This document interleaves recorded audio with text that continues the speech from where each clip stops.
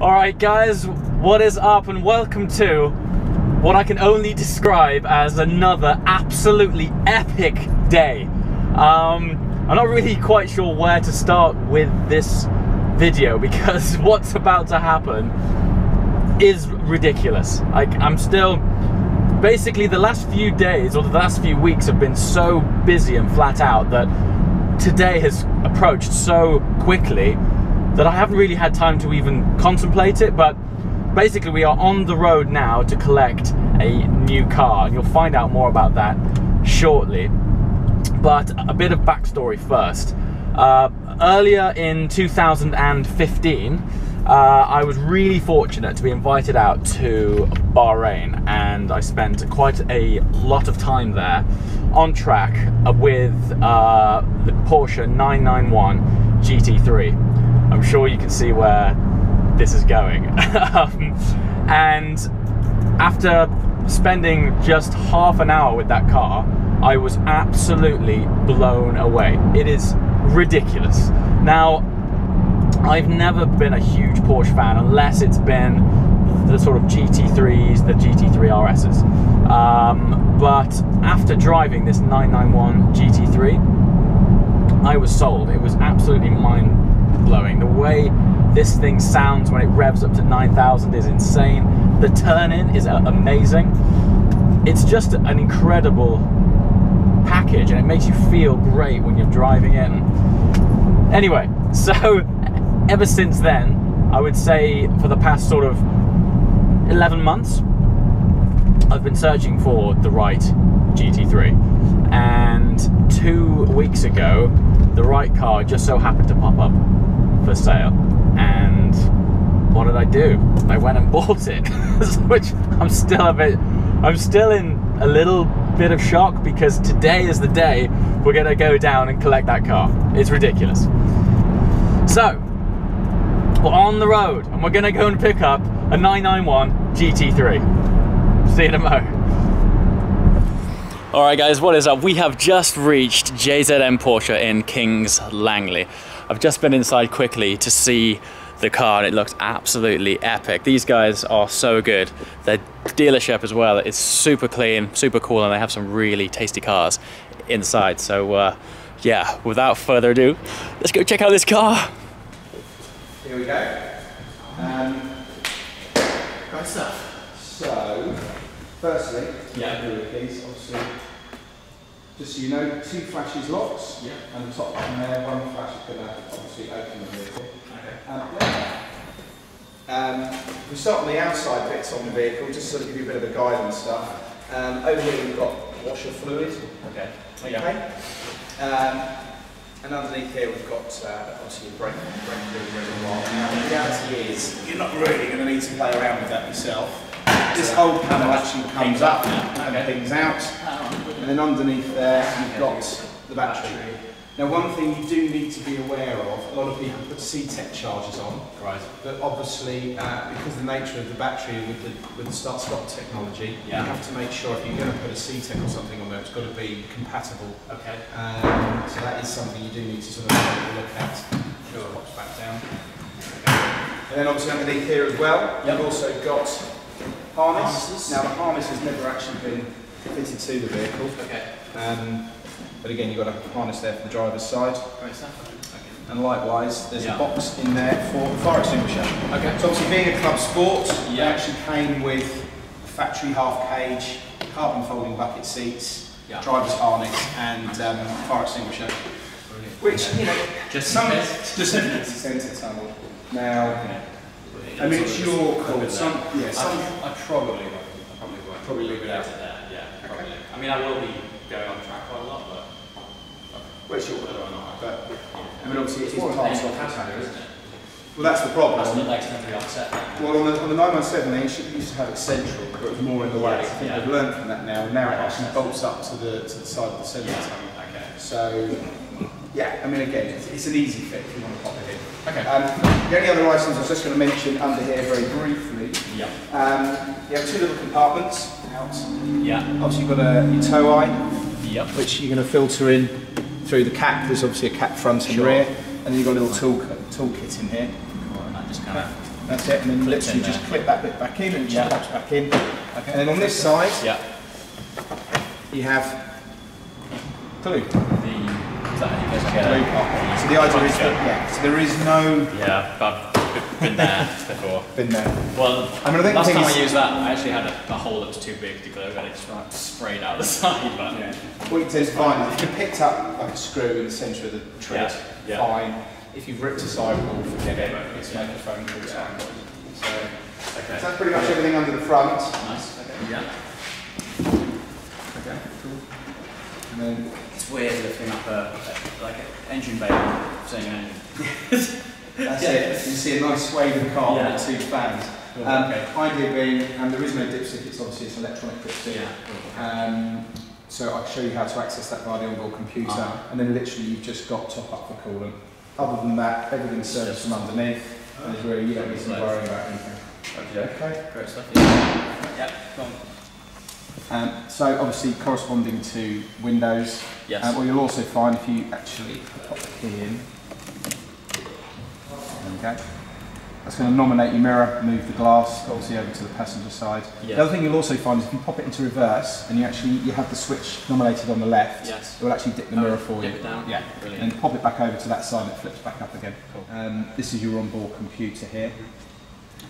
Um, yeah, and then you've got cruise control on the left, and you've got obviously indicators and um, main beams. It's probably worthwhile. Yeah. if You just pop your foot on the foot brake. Maybe a little turn out here. Then that back. So, switchable sports exhaust, Yep.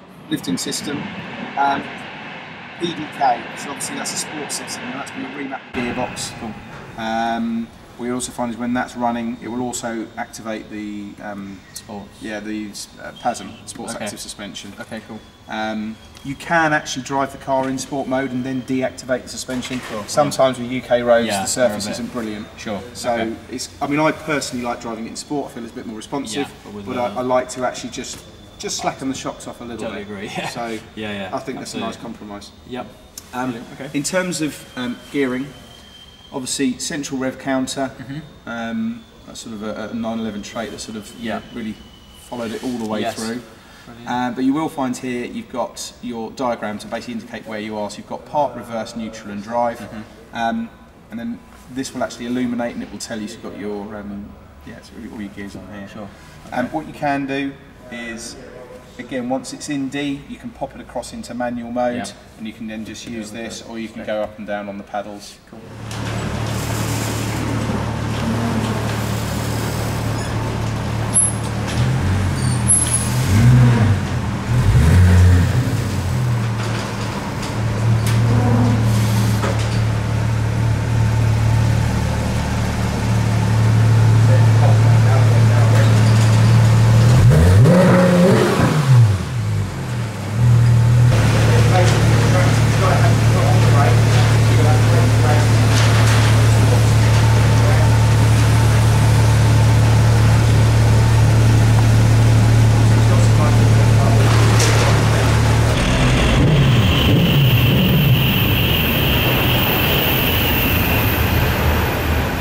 This is the first drive. This is the actual, this is the first turn of the wheel in my new GT3. what the hell is going on? Christ. This is my first sort of serious Porsche that I've owned, and so it's kind of, it's all quite new. So different to a, to a Ferrari. It's so different. Man, this is mad. It's absolutely ridiculous. I still haven't quite taken on board what's going on here. I'm just just casually driving home in a GT3. what the hell? Oh god. Right, so time to get into this thing. Let's just see what it's all about. Obviously, the first few miles, I'm really just going to be learning the, this car. It's funny when I when I jumped into the Speciale for the first time, it still felt like a car that I just knew because I'd owned a 458, you know, previous to that. This is just a totally brand new thing. It's mad.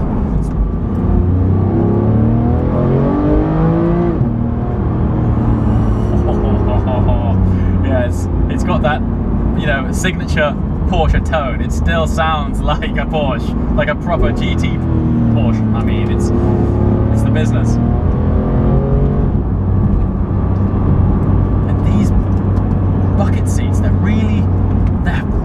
Hugging me nice. Oh, just makes me want to get on the track, you know. And looking in my rear view mirror, not only have I got a massive wing, but I've got scaffolding from a roll cage as well. it's just like this race car in this thing, you know? Oh, the steering feels lovely, it's well weighted. And I cannot wait to get to grips with this thing and just, under, just understand how great it is. It feels so purposeful. Even at this speed, it just feels so in tune with the tarmac, you know? The sat nav on. At the minute, I don't really know even how to turn that thing down or off or anything, so. Yes. Porsche man. What on earth? It feels alien to me. Now a Porsche owner. what the hell?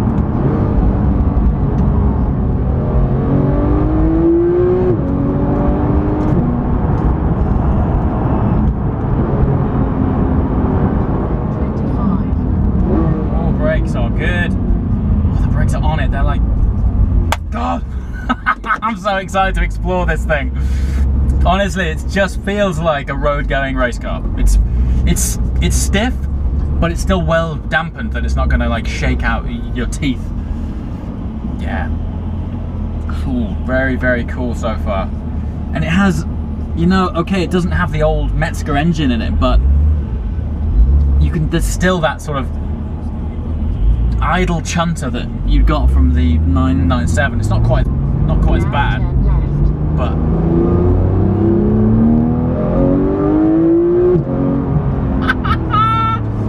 you know, even before I bought this car, I was researching exhausts. I'm gonna have to spend some time with it. I don't. Is it gonna need one? I don't know. It sounds epic as it is. I don't know. Let's spend some time with it and see. Visibility's good. Everything's good. Everything is more than good. Everything is absolutely epic.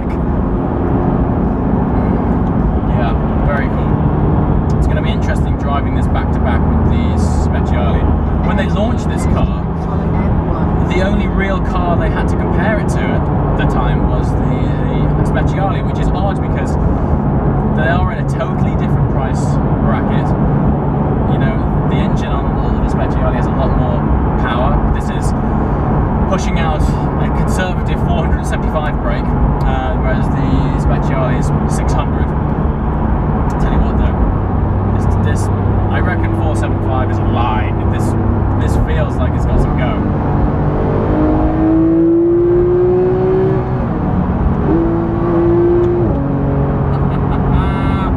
I don't know if I need a pipe. I don't know. So far, it's putting a big grin on my face. That's what a pipes are. Pipes grin pipes, you know.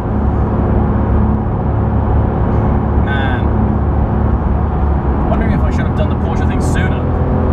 But I've only been driving five minutes. It's great. These, these seats are comfortable too. They are good. Um, gonna over here. Got, got wing? Yes, got wing. Big ass wing. Times.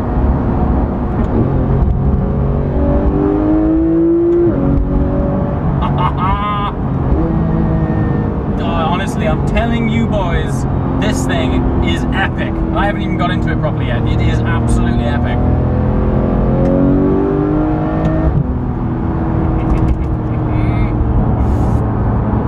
This is surreal. Slap me in the face. What is going on? What is happening right now? Do you know? I think I'm I'm more excited about this car than I thought I was because it's so new.